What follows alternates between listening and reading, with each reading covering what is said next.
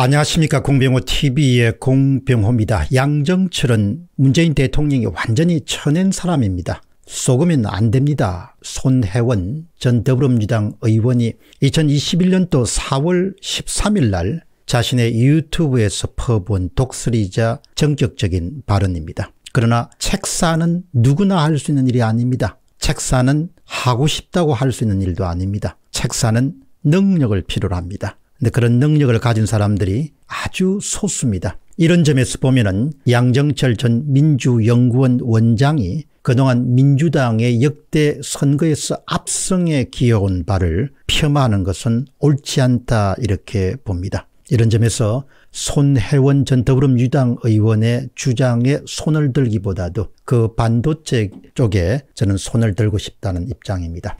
많은 사람들이 양정철 전 원장이 지난 선거에서 그래왔듯이 내년 3월 대통령 선거에서도 중요한 역할을 맡아서 수행할 것을 의심치 않고 있습니다. 왜냐하면 저를 포함해서 많은 사람들이 아는 한 그런 책사로서 무척 뛰어나기 때문입니다.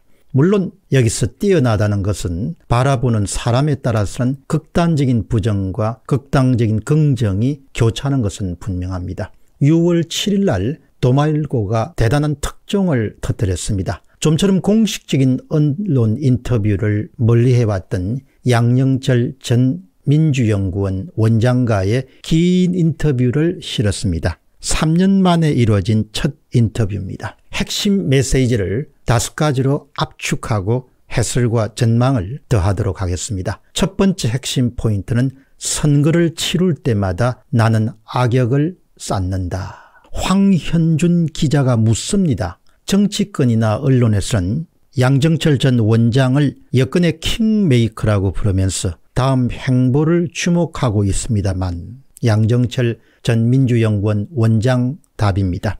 문재인 대통령 당선 순간부터 여한이 없어졌습니다. 저에게는 이제 정치적 목표와 소망이 없는 셈입니다. 많은 요청을 받고 있지만 이제 선거 치르는 일이 엄두가 나지 않습니다. 선거를 한 번 치룰 때마다 몸과 마음이 피폐해질 뿐만 아니고 수많은 악업을 쌓게 됩니다. 정권 재창출의 대의 하나 때문에 또 무엇인가 악업을 쌓아야 되나 그런 고민이 깊습니다. 아주 의미심장한 그런 양정철 전 원장의 답변입니다. 저의 해설은 두 문장을 주목해야 됩니다. 선거를 치룰 때마다 수많은 악업을 쌓게 됩니다. 또 무엇인가 악업을 쌓아야 되나 고민이 깊습니다. 법에 따라서 선거에 임하는데 무슨 악업이 있을까 싶습니다. 그런데 말 못할 악업이 있는가 봅니다. 인터뷰를 읽는 내내 선거마다 양정철 전 원장이 악업을 쌓는다는 그 깊은 의미를 생각하고 또 생각하게 됩니다. 두 번째 핵심 포인트입니다. 제3후보는 더불어민주당 내에 불가능한 이야기다. 황현준 기자가 묻습니다. 현재 대통령 선거 주자로 거론되는 여권 대부분의 인사와 다 막역한 사이인 걸로 제가 알고 있습니다. 누굴 도울 생각을 하고 계십니까? 여기에 대해서 양정철 전 원장의 답변입니다. 대통령이 경선에 소환되게 해서는 안 됩니다. 나중에 후보되는 분을 중심으로 해서 본선에서 승리할 수 있도록 힘을 모으는 것이 지혜로운 태도입니다. 일치 단결 팀워크를 깰 수 있는 앙금이나 여진이 없도록 섬세하게 움직일 필요가 있습니다.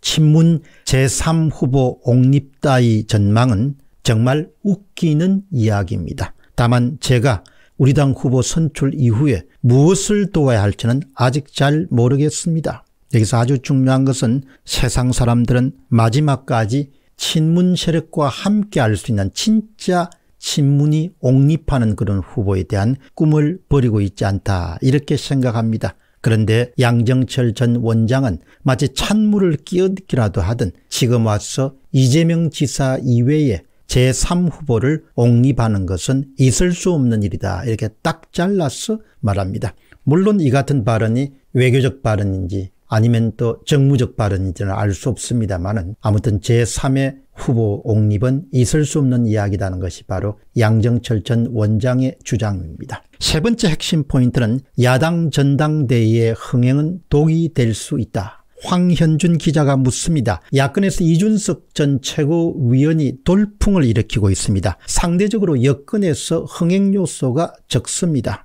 양정철 전 원장의 답변입니다. 대선까지 10달 가까이 남았는데 아마도 그 사이에 여러 부침과 변화가 있을 것입니다. 역대 대선 중에 가장 변화무성한 일들이 파노라마처럼 펼쳐질 것으로 봅니다. 야권의 흥행 요소라는 것께 언론 입장에서야 흥미롭겠지만 뒤집어 보면 불안정성입니다. 악이 될 수도 있고 독이 될 수도 있다고 봅니다. 약이 될 수도 있고 독이 될 수 있다고도 봅니다. 저의 해설은 육체적 젊음을 야당 쇄신과 동요로 보는 사람들도 세상에는 많습니다. 그러나 수많은 이해가 갈리는 사람들을 이끌고 대선 승리를 위한 일에서는 절대적으로 경륜이 중요합니다. 여당에서는 잘한다 잘한다 연일 박수를 칩니다마는 이전숙 후보가 당선되는 것에 호재를 부르는 그 여당 인사들의 그 숨은 저희와 또 의도를 읽는 현명하고 지혜로운 사람들이 더 많아지기를 바랍니다. 네 번째 핵심 포인트입니다. 민주당에는 절박감이 없습니다. 황현준 기자가 묻습니다. 절박감이 없다. 이런 부분에 대해서 무엇이 더불어민주당의 문제입니까? 라는 그런 질문에 대해서 양정철 전 원장은 절박함이 없습니다. 스타일리스트 정치의 매력을 느끼는 사람이 너무 많습니다. 집권당으로서 책임을 자각을 하는 것을 잃어버리고 마이너리즘에서 못 벗어난 사람들도 꽤 많습니다. 상대당은 얼마나 절박하면 30대 당대표 박근혜 대통령과 이명박 대통령을 구속시킨 윤석열 전 검찰총장 영입 시도 등 지금까지 정치권 통례와 상식을 뛰어넘는 일에 진력하고 있습니다. 저의 해설은 양정철 전 원장에 입에서 박근혜 전 대통령과 이명박 전 대통령을 구속시킨 윤석열 전 총장 영입 시도라는 그런 지적에 주목합니다. 어느 누구보다도 정치권 전반을 잘 알고 있고 윤석열 전 총장과도 오래 친분을 갖고 있는 것으로 알려진 양정철 전 원장의 지적이기 때문에 더 귀에 박히는 그런 말입니다. 다섯 번째 핵심 포인트는 민주당의 재집권 가능성은 진행 중이다. 황현준 기자가 묻습니다. 민주당의 재집권 가능성이 있습니까? 양정철 전 원장의 답입니다. 지금으로서는 예단하기 어렵습니다. 냉정하게 따져보면 비관적인 요소가 더 많습니다. 1987년도 직선제 이후에 집권당이 무난하게 정권 재창출한 사례가 세 번 있습니다. 노무현 전 대통령 당선이 정몽준 후보와의 단일화 등 갓난 신고 끝에 가까스로 된 만큼 이를 제외한 노태우, 김영삼, 박근혜 전 대통령 당선입니다. 이들 모두 전직 대통령과 같은 당이었지만 마치 다른 당, 다른 대통령상을 연출했습니다. 세 사람은 획기적인 6.29 선언, 첫 문민정부에 대한 기대감, 그리고 이명박 당시 대통령과는 다른 당 후보보다 더 큰 대척점에서 마케팅에 주력했습니다. 일종의 착시를 노린 것이지만 결과적으로 정권 교체에 가까운 정권 재창출이었습니다. 지금은 그런 게 가능할지 모르겠습니다. 저의 해설은 그럼에도 불구하고 역대 그 어떤 정권과도 비교할 수 없을 정도로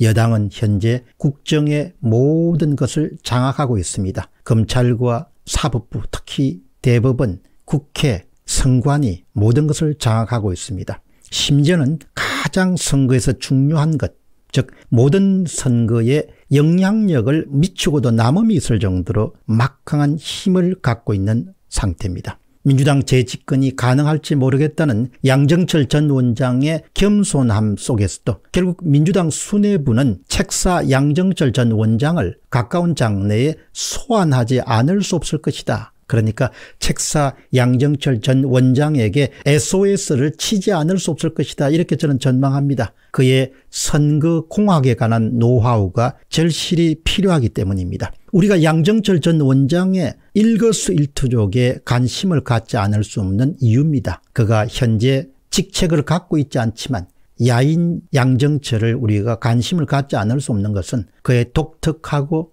독보적인 선거공학에 관한 그런 노하우가 너무나 중요한 자산이기 때문입니다. 야인임에도 불구하고 그의 인터뷰나 그의 동정을 관심 있게 소개하는 이유는 선거공학에 대한 그의 지식과 경험이 민주당이 그 어떤 후보나 수단보다도 더 위력적이다 이렇게 해석하기 때문입니다. 그가 인터뷰 초반에서 말했듯이 악역이라는 업보를 쌓는 일에 또다시 뛰어들 결심을 할 수 있을까라고 생각하는 사람들도 있겠지만 그의 성부사적 기질이나 문 대통령 퇴임 이후에 안위를 위해서라도 또 한 번 악역을 담당하지 않을 수 없지 않겠는가 그런 생각을 하게 됩니다. 3년 만에 가진 책사 양정철의 심청 인터뷰는 그의 실력이 조금도 녹슬지 않았음을 보여주고 있습니다. 물론 그의 실력에 대해서는 바라보는 사람에 따라서는 극단적인 부정론을 펼칠 수가 있고 또 다른 쪽에서는 상당한 긍정론을 펼칠 수가 있습니다. 공병호 TV의